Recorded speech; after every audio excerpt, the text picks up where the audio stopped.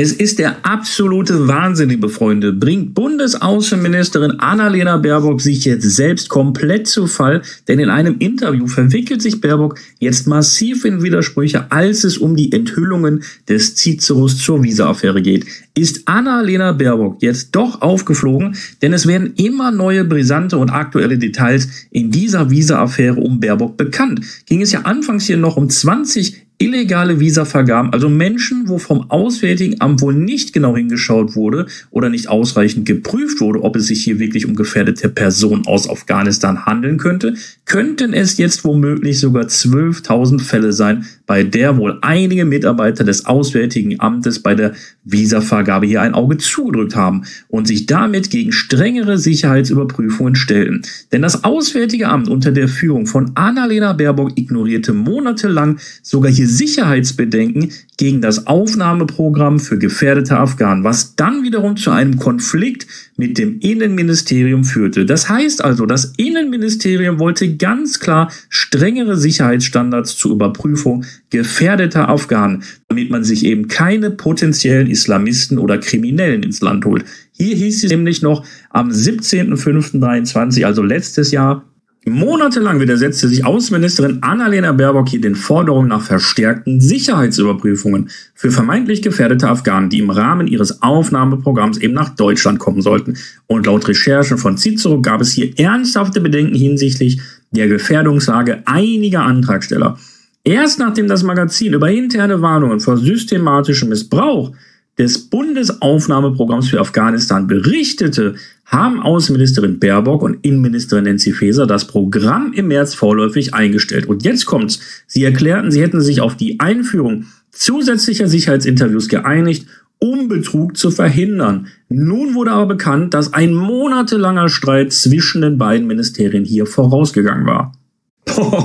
das ist echt krass, meine lieben Zuschauer. Bundesaußenministerin Annalena Baerbock widersetzt sich ganz klar gegen die Forderung nach verstärkten Sicherheitsüberprüfung und blockiert sogar monatelang die Einführung zusätzlicher Sicherheitsinterviews für Afghanen, die dann im Rahmen ihres Aufnahmeprogramms eben nach Deutschland kamen. Und gerade diese Sicherheitsinterviews blockierte Baerbock, die ja gerade eben illegale Einreise und Betrug verhindern sollten. Das darfst du wirklich keinem erzählen. Und somit sind jetzt nicht nur gefährdete Frauen, Kinder und Männer aus Afghanistan zu uns gekommen, was ja richtig ist, sondern auch Islamisten, potenzielle Gefährder und auch hochrangige Kriminelle.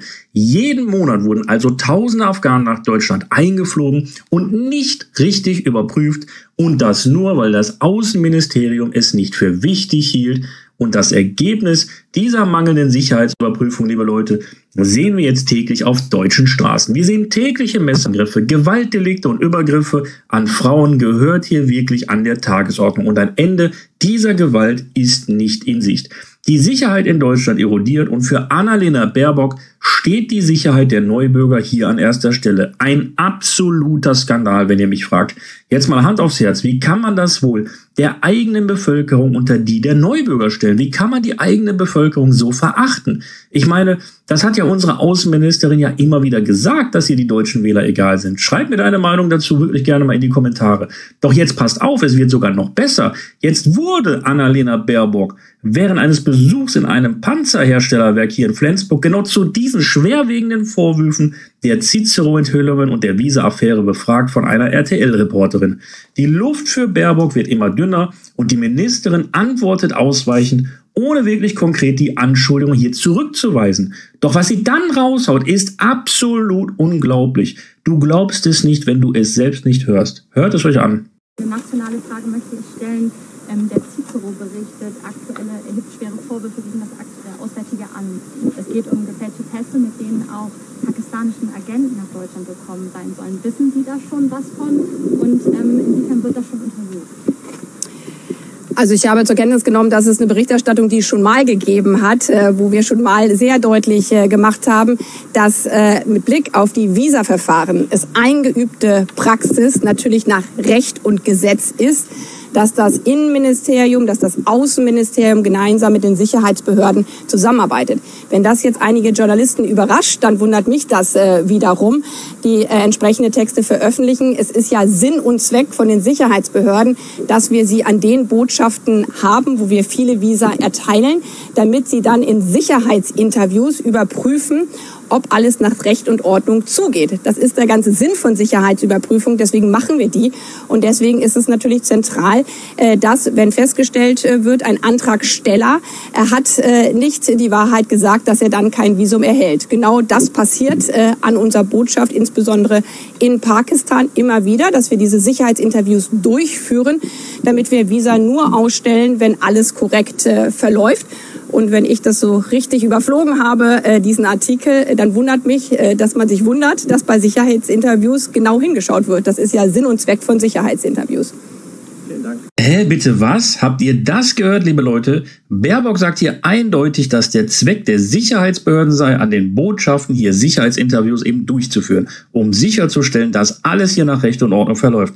Doch das ist doch komplett gelogen, denn es ist ja eben nicht alles nach Recht und Ordnung verlaufen, wie wir ja hier am Anfang gerade gehört haben.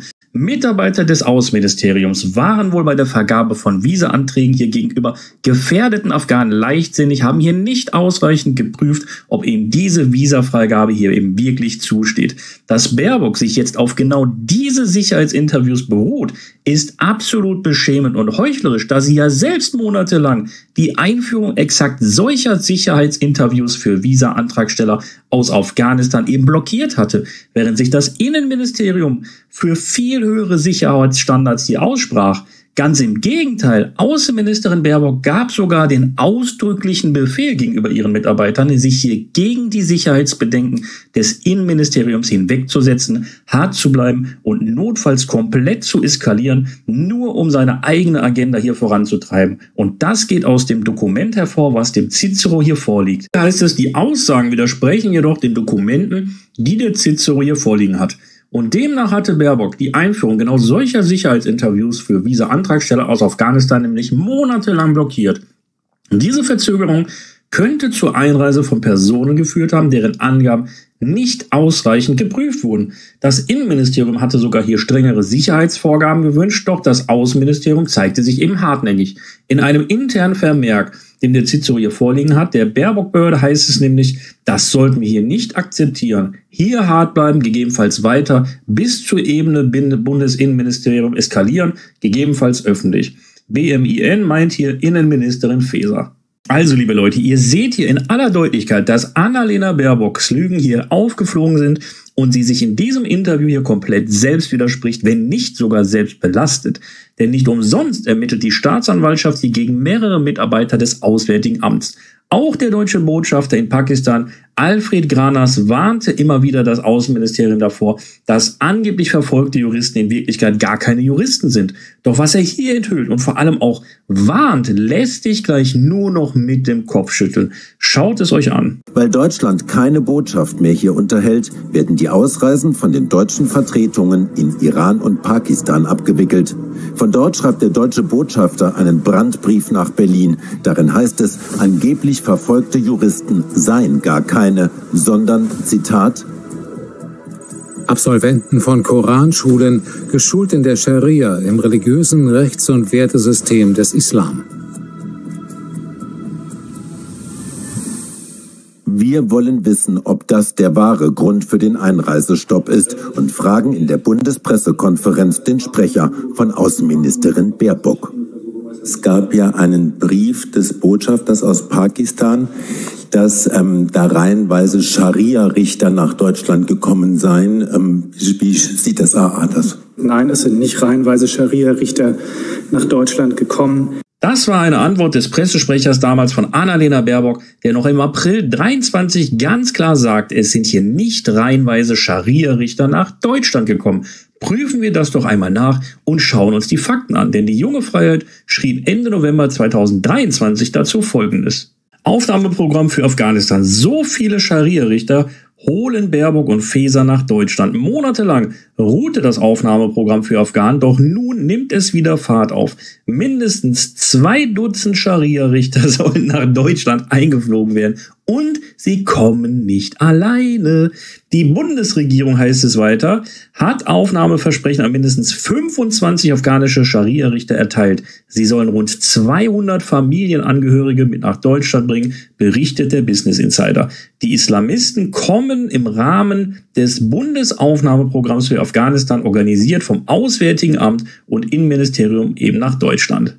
Leute, Leute, Leute, was man hier wieder liest, ist einfach nicht zu glauben. Denn die Botschaft in Islamabad in Pakistan warnte Berlin, dass unter den Bewerbern hier auch Islamisten, Analphabeten, Betrüger und Terroristen seien. Und was passiert hier, liebe Leute? Richtig, man erteilt hier Aufnahmeversprechen an mindestens 25 Scharia-Richter und ladet auch gleich den ganzen Familienstammbaum ein, nach Deutschland zu kommen. Nämlich insgesamt 200 Familienangehörige. Das darfst du wirklich keinem erzählen. Und wir alle wissen, dass die Scharia mit unserem Grundgesetz, unserer Rechtsordnung eben nicht vereinbar ist. Denn die Scharia ist eine diskriminierende, veraltete Rechtsordnung, die unser Grundgesetz hier völlig untergräbt. Sie zerstört die Prinzipien von Gleichheit und Menschenwürde und bedroht unser neutrales Rechtssystem. Es ist völlig inakzeptabel und vor allem undiskutabel, Personen zu unterstützen, die solche rückständigen Gesetze vertreten, da sie unser Rechtssystem hier wirklich ernsthaft gefährden. Und das haben wir doch hier in Hamburg alle gesehen, als hier hunderte Islamisten eine Scharia eben forderten und sich ganz klar gegen unseren Rechtsstaat eben aussprechen. Und was machen Annalena Baerbock und Nancy Faeser? Richtig, sie laden hier potenzielle Islamisten und Terroristen ein und bezahlen ihnen nicht nur einen Freiflug nach Deutschland, sondern laden auch gleich mal 200 Familienangehörige ein, bezahlt von unser hart verdienten Steuergeldern, damit sie bei uns ihre diskriminierende und veraltete Rechtsordnung verbreiten dürfen. Noch mehr Verachtung gegen ihre eigene Bevölkerung kann uns Annalena Baerbock gar nicht zeigen. Das muss man sich mal wirklich auf der Zunge zergehen lassen, liebe Freunde.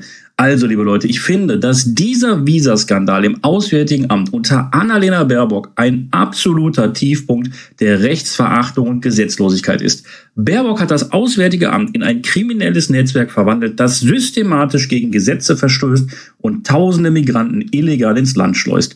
Dieser Missbrauch gefährdet massiv unsere Sicherheit und untergräbt hier das Vertrauen in unseren Rechtsstaat. Annalena Baerbock muss hier sofort zurücktreten und der Skandal braucht hier dringend einen rigorosen Untersuchungsausschuss. Das Vertrauen in unsere Institution ist gefährdet und muss durch klare Maßnahmen wiederhergestellt werden. Und dazu gehört eben, dass Annalena Baerbock hier dringend aus dem Amt des Außenministeriums entfernt werden muss. Sei es durch einen Rauschmiss vom Bundeskanzler oder durch ihren eigenen Rücktritt. Diese Frau sollte in der Politik hier nie wieder eine Zukunft haben und sie eignen sich wohl besser fürs Trampolinspringen. Ja, was sagst du denn zu diesen unglaublichen Widersprüchen von Annalena Baerbock? Hat sie sich ja selber ihr Grab geschaufelt? Schreibt mir eure Meinung gerne mal dazu in die Kommentare. Wird es jetzt endlich bald Konsequenzen geben oder wird diese Frau noch weiterhin im Amt bleiben? Ich bin wirklich gespannt, wie ihr diese Situation hier bewertet. Wenn dir das Video gefallen hat, gerne Like oder Abo da lassen, Glocke aktivieren, dann verpasst du nichts mehr. Teilt das Video auch am besten mit so vielen Leuten wie möglich, damit auch alle hier diese Missstände sehen. Und wir sehen uns gleich im nächsten Video.